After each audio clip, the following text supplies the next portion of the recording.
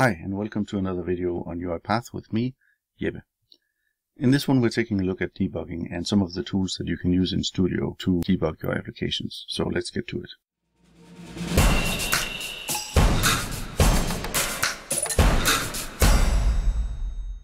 So what is debugging exactly? Well, it's the process of finding and removing errors in the code of your automations. And when I say code, of course, I mean activities mostly when we're talking UiPath.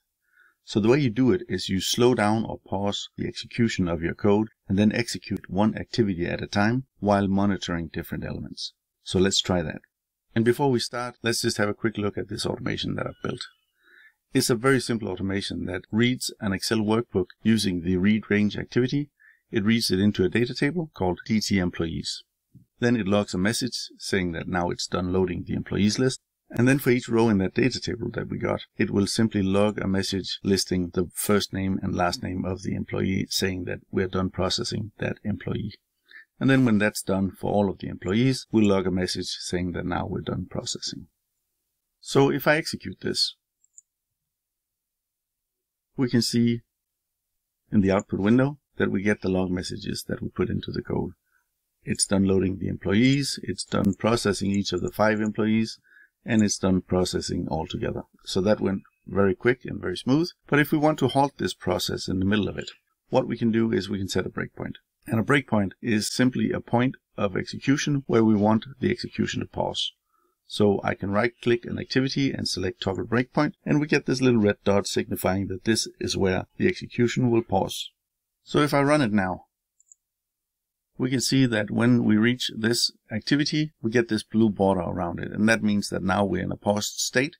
And now we can step through our activities one at a time using what are called the step actions. And the step actions you find up here, they're step into, step over, and step out.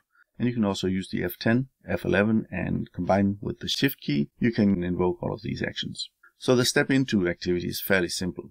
It simply executes, and I'll use the shortcut key now, it simply executes the next activity in line. So now we executed the log message activity. The next activity in line is the for each row activity, and that's an activity that will sort of change the scope of our execution. We'll move into a loop where things will happen repeatedly, and if we use the step into action here, we'll simply step into that loop and we will have to step through each of the data rows that are being processed. If we want to avoid that, we can use the step over activity up here. And you can also do that using the F10 key. And if we use that, we will step over the for each loop and down to the log message activity. Now, of course, there's the step out activity. What does that do?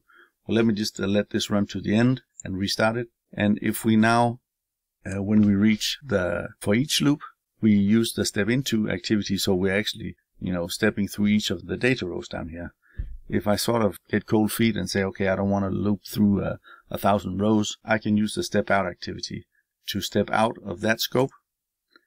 And when I then use the step into activity now, we're done with all of the looping inside of the for each, and we step onwards to the log message activity.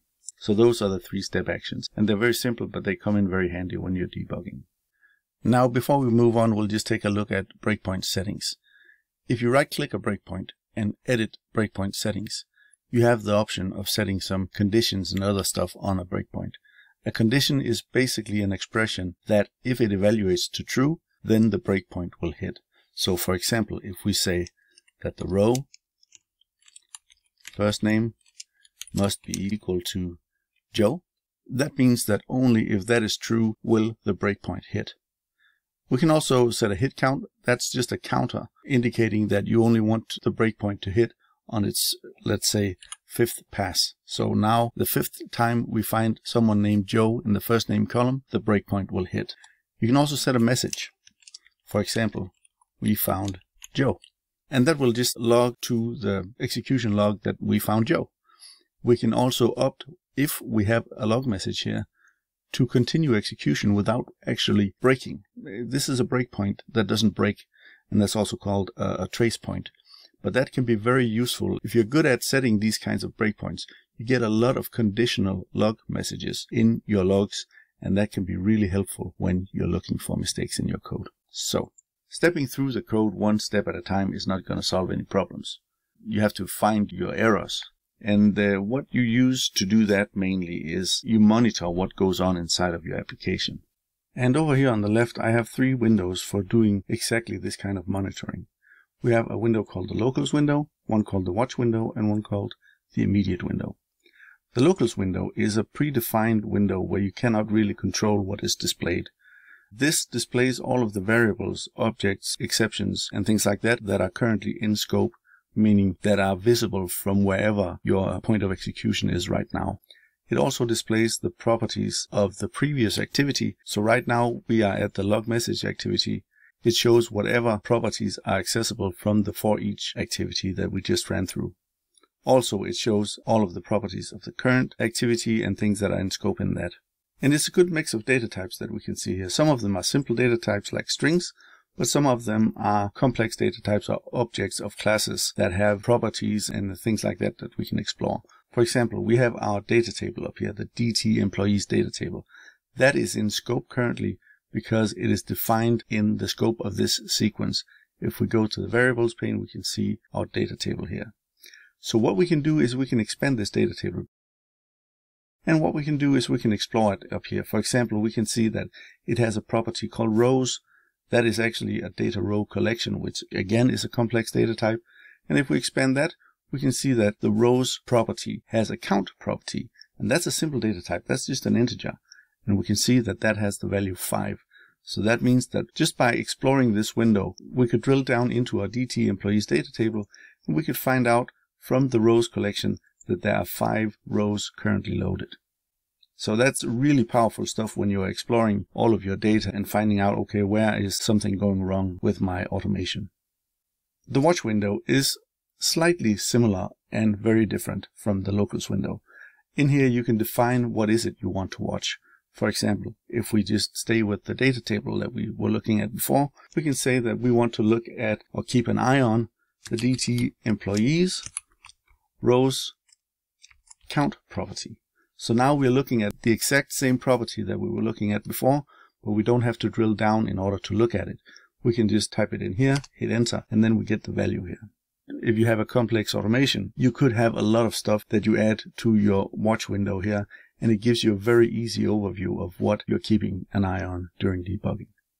Also note that when you're working in here, you do have autocomplete or IntelliSense, so it's very easy to sort of find the stuff that's available for you to look at. Also, in the locals window, if you find a property that you think, oh, this is something I really like, I want to keep an eye on this. For example, this display name property. We can just right click and add to watch. And when we then go to the watch window, we can see that it has been added over here. The immediate window. That's a slightly more geeky version of the watch and locals window because in here you can simply write whatever expression you want to have evaluated. So for example, again, if I want to write DT employees, rows, count, that just gives me in a command line format the value of that property. And that's also something that's quite valuable. Sometime if you may be trying to concatenate a string or do some kind of calculation, you can really use the immediate window to your advantage.